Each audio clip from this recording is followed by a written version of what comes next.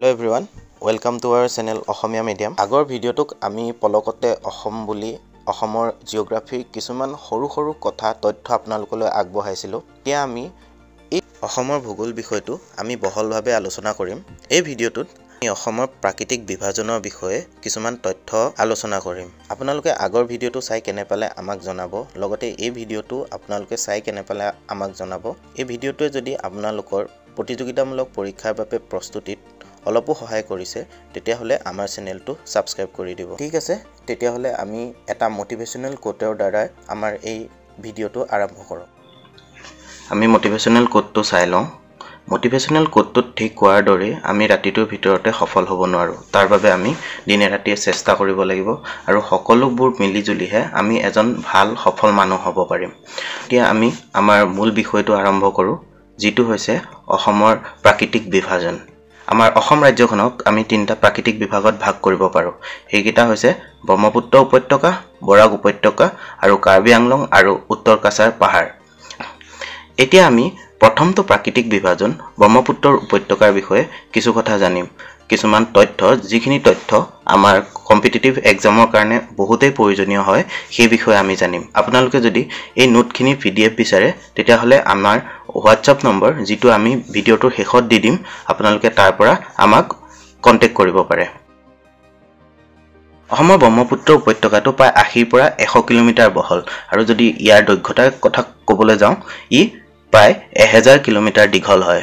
উপত্যকাটোৰ ভিতৰত বহু ঠাইত নদীখনৰ প্ৰস্থ ষোল্ল কিলোমিটাৰ। মানে উপত্যকাটো যিফালেদি আমাৰ ব্ৰহ্মপুত্ৰ নদীখন পাৰ হৈ গৈছে সেই নদীখনৰ বহলতা আমি ষোল্ল কিলোমিটাৰমান পাওঁ কিছু কিছু অঞ্চলত। কিন্তু সকলো অঞ্চলতে নহয় কিছুমান বিশেষ অঞ্চলতহে ইয়াৰ প্ৰস্থটো আমি ইমান বহলভাৱে পাওঁ। ব্ৰহ্মপুত্ৰ উপত্যকাটো হৈছে পূব ভাৰতৰ পূব আৰু উত্তৰ পূব হিমালয় পৰিসৰৰ পাহাৰীয়া অঞ্চলৰ মাজত অৱস্থিত।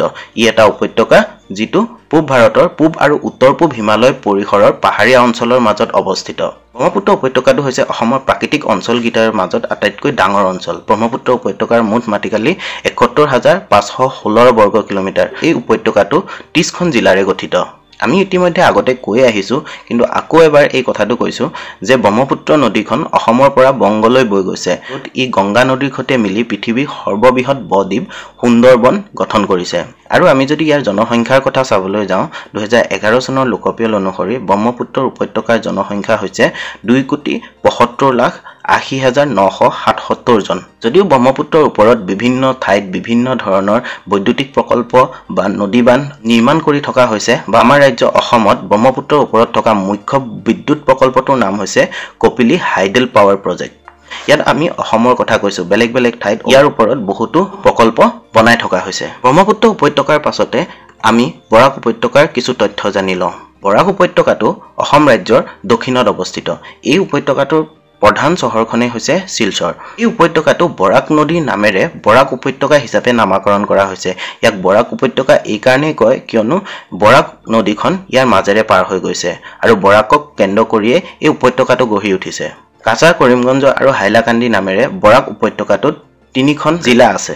এই তিনিখন জিলাৰ ভিতৰত কাছাৰ আৰু হাইলাকান্দি জিলাখন ব্ৰিটিছ ভাৰতৰ কাছাৰ জিলাৰ অন্তৰ্ভুক্ত আছিল। তাৰ মানে হৈছে কি কাছাৰ জিলাই এতিয়া দুখন জিলাত বিভক্ত হৈছে কাছাৰ আৰু হাইলাকান্দি। আনহাতে যিখন কৰিমগঞ্জ জিলা আছিল সেইখন চিলেট জিলাৰ অন্তৰ্ভুক্ত আছিল। আমি যদি বৰাক নামটোৰ উৎপত্তিৰ কথা চাবলৈ যাওঁ বৰাক নামটো ডিমাচা শব্দৰ পৰা আহিছে।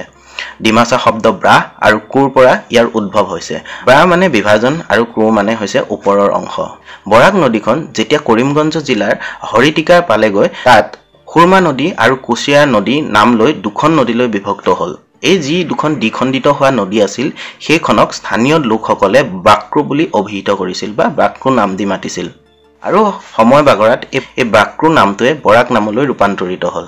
ইয়াৰ যদি আমি জনসংখ্যাৰ কথা চাবলৈ যাওঁ দুহেজাৰ এঘাৰ চনৰ ভাৰতীয় লোকপিয়ল অনুসৰি বৰাক উপত্যকাৰ জনসংখ্যা আছিল ছয়ত্ৰিছ লাখ চৌবিছ হাজাৰ পাঁচশ নিৰান্নব্বৈজন কাছাৰ হৈছে বৰাক জিলাৰ আটাইতকৈ ডাঙৰ জিলা আৰু হাইলাকান্দি হৈছে আটাইতকৈ সৰু জিলা। এই বৰাক উপত্যকাটোত মাত্ৰ এখন বন্যপ্ৰাণী অভয়াৰণ্য আছে যাৰ নাম হৈছে বৰাইল। বৰাইল অভয়াৰণ্যখন সৃষ্টি কৰাত প্ৰসিদ্ধ প্ৰকৃতিবিদ ডক্টৰ আনোৱাৰুদ্দিন চৌধুৰীয়ে যথেষ্ট অৰিহণা যোগাইছিল।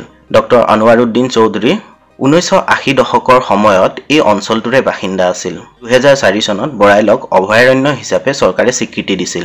বৰাইলৰ উপৰিও এই উপত্যকাটোত তেৰটা সংৰক্ষিত বনাঞ্চল আছে যাৰ ভিতৰত কৰিমগঞ্জত ছয়টা কাছাৰত পাঁচটা আৰু হাইলাকান্দিত দুটা আছে। বৰাইলৰ উপৰিও বৰাকৰ দুখন সংৰক্ষিত বনাঞ্চলক এতিয়াও বন্যপ্ৰাণী অভয়াৰণ্য হিচাপে উন্নীত কৰাৰ পৰামৰ্শ আগবঢ়াই আহিছে। তাৰ ভিতৰত পাথাৰীয়া পাহাৰ সংৰক্ষিত বনাঞ্চল য'ত বহুতো স্তন্যপায়ীয়ে বাস কৰে তাক পাথাৰীয়া পাহাৰ বন্যপ্ৰাণী অভয়াৰণ্য হিচাপে উন্নীত কৰাৰ বাবে পৰামৰ্শ আগবঢ়োৱা হৈছিল। ইয়াৰে দক্ষিণ অংশটোক ধলেশ্বৰী বন্যপ্ৰাণী অভয়াৰণ্য হিচাপে স্বীকৃতি দিবৰ কাৰণেও পৰামৰ্শ আগবঢ়াইছিল। উল্লেখযোগ্য যে এসময়ত বৰাক উপত্যকাত বিচৰণ কৰি ফুৰা এছিয়ান হাতীবোৰ ইতিমধ্যে উপত্যকাটোৰ বেছিভাগ অঞ্চলৰ পৰাই নাইকিয়া হৈ গৈছে। ই আমাৰ পৰিৱেশৰ কাৰণে এটা অতি দুখজনক কথা। এই দুটা নদী উপত্যকাৰ পিছতে আমি পাৰ্বত্য অঞ্চলৰ বিষয়ে কিছু তথ্য জানো। অসমৰ পাৰ্বত্য অঞ্চলটো কাৰ্বি আংলং আৰু উত্তৰ কাছাৰ পাহাৰ জিলাৰে গঠিত হৈছে। উল্লেখযোগ্য যে দুহেজাৰ ষোল্ল চনত কাৰ্বি আংলং জিলাক বিভক্ত কৰি দুখনকৈ নতুন জিলা গঠন কৰা হৈছিল। এই নতুন দুখন জিলা হৈছে পূব কাৰ্বি আংলং জিলা আৰু পশ্চিম কাৰ্বি আংলং জিলা। অসমৰ পাৰ্বত্য অঞ্চলৰ কথা ক'বলৈ গ'লে আমি এইটো কথা মন কৰিব লাগিব যে অসমৰ পাহাৰবোৰৰ গড় উচ্চতা হৈছে প্ৰায় তিনিশ মিটাৰৰ পৰা চাৰিশ মিটাৰ।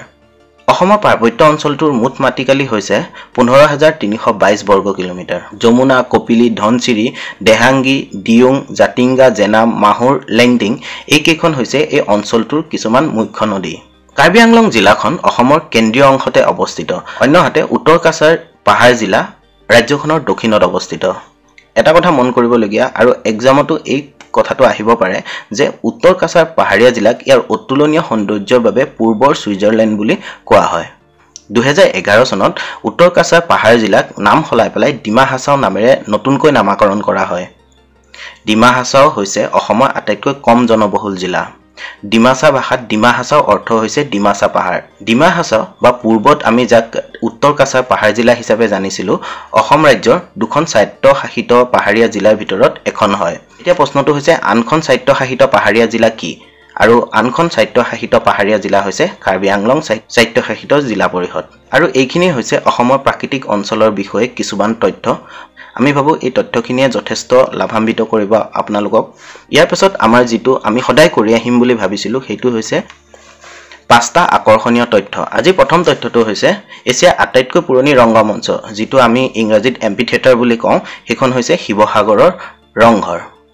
এইখন হৈছে আটাইতকৈ পুৰণা ৰংগমঞ্চ এছিয়াৰ ভিতৰত। দ্বিতীয়টো ফেক্ট হৈছে ভাৰতৰ সৰ্ববৃহৎ প্ৰাকৃতিক চিৰিয়াখানাখন গুৱাহাটীস্থিত অসম ৰাজ্যিক চিৰিয়াখানা। গুৱাহাটীত যিখন অসম ৰাজ্যিক চিৰিয়াখানা আছে সেইখন হৈছে ভাৰতৰ সৰ্ববৃহৎ প্ৰাকৃতিক চিৰিয়াখানা। আমাৰ তিনি নম্বৰ ফেক্টটো হৈছে অসমৰ যোৰহাট জিলাক ভাৰতৰ চাহৰ ৰাজধানী হিচাপে জনা যায়। আমি জানো যে অসমত বহুত চাহ উৎপন্ন হয় যথেষ্ট চাহ উৎপন্ন হয় আৰু এই অসমৰ যোৰহাট জিলাক ভাৰতৰ চাহৰ ৰাজধানী হিচাপে জনা যায়। চাৰি নম্বৰ ফেক্টটো হৈছে আহোমসকল যাক লৈ আমি গৌৰৱ কৰোঁ। আহোমসকলৰ যি ছশ বছৰীয়া শাসনকাল আছিল সেয়া হৈছে ভাৰতত কোনোবা এটা ৰাজবংশই একেৰাহে কৰা আটাইতকৈ দীঘলীয়া শাসনকাল। আমাৰ আজি শেষৰ ফেক্টটো হৈছে অসমত প্ৰায় দুহেজাৰ চাৰিশ এটা এশিঙীয়া গড় আছে। আৰু এই দুহেজাৰ চাৰিশ এটা গড় হৈছে বিশ্বৰ দুই তৃতীয়াংশ এশিঙীয়া গড় যি অসমত বাস কৰে। আৰু এয়াই আছিল অসমৰ প্ৰাকৃতিক বিভাজনৰ ওপৰত কিছু তথ্য। আমি আমাৰ পাছৰটো ভিডিঅ'ত অসমৰ প্ৰশাসনিক আৰু জনগাঁথনিৰ বিষয়ে কিছু তথ্য আগবঢ়াম যিখিনিয়ে আপোনালোকক বিভিন্ন ধৰণৰ পৰীক্ষাত সহায় কৰিব। আপোনালোকে যদি আমাৰ এই তথ্যখিনিৰ পি ডি এফ বিচাৰে তেতিয়াহ'লে আমি দিয়া নম্বৰত আমাক এটা হোৱাটছএপ মেছেজ কৰি দিব। আৰু এই ভিডিঅ'টোৰ পৰা যদি আপোনালোক অলপো উপকৃত হৈছে আৰু অকণমানো আপোনালোকে জ্ঞান লাভ কৰিছে তেতিয়াহ'লে আমাক ছাবস্ক্ৰাইব কৰি দিব আৰু ভিডিঅ'টো যিমান পাৰে শ্বেয়াৰ কৰি দিব। ধন্যবাদ।